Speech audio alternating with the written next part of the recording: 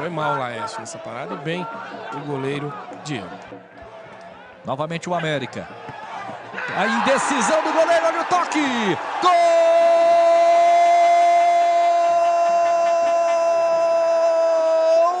do América! Bola na área, Diego ficou meio que no meio do, meio do caminho, um pouco indeciso. E aí na indecisão da defesa do Havaí com o goleiro. Último a tocar na bola foi o Márcio Passos. Comemora. Dois para o América. Veja de novo. Levantamento. Olha aí como.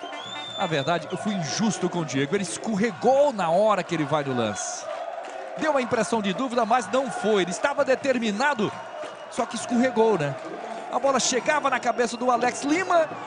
E aí ele, no, no desespero para se recuperar depois de ter